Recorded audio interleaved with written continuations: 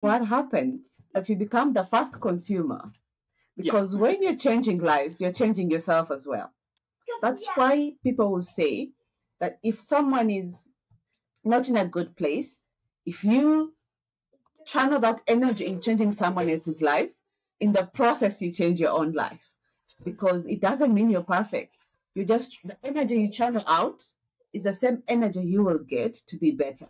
So with mm. this for me, it's, it is a purpose now. It has become a purpose. It has become a calling that I'm actually now investing in more money to take it to another level. So mm. what I'm going to do, or what I'm doing right now, I have uh, enrolled into a mentorship academy because now I want to learn from those who have used this and even done better. Because they say if you want to be good at your craft, you have to learn from those who have done it before, listen to their experiences, listen to how they managed to get there, and then before you know it, you can actually surpass them because now you're learning from their experience.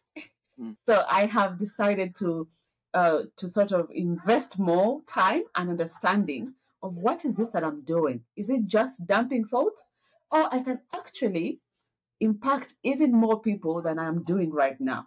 So that mm. academy is to help me be able to one to align the purpose properly two, to be able to to understand the audience I am going to. If you're mm. saying you're going to do leadership, uh, personal growth, or professional growth and accountability, who are you targeting? You're targeting executives. You're tar- targeting one-on-one individuals. So you can actually monetize your talent, and this is where it is getting to be that if you invest so much time in yourself, in learning and being better, and which is what we want for our new generation that we are raising right now, to understand that having a skill can actually make you money if you put in the effort. And instead of just dumping everything on YouTube, yes, which is a good channel, how about take it to a bigger scale? Become an, a global speaker with time, become a global um, enthusiast and impact lives more than you are doing in your small channel because there are so many people who are not going to watch the YouTube channel.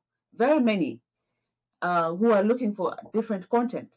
But if you're in people's faces, if you're standing in front of a thousand people, if you're standing in front of a hundred people, you're going to change more lives than you are doing on your YouTube channel. So my thought process is this is a calling that my mother showed me, but I was been ignoring.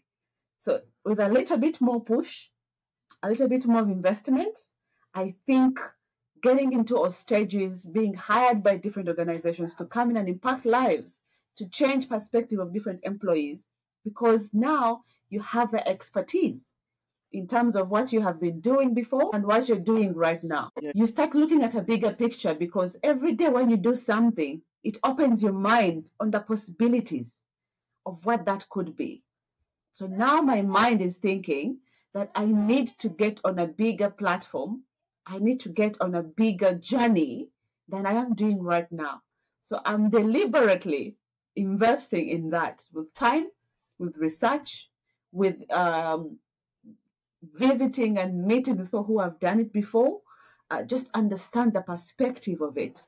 And I believe that um, with much focus, it can be bigger um, it can be um, more than I actually think. So that's the journey that I want to show people what they are capable of. And I think I can do that by becoming on or going on a bigger platform.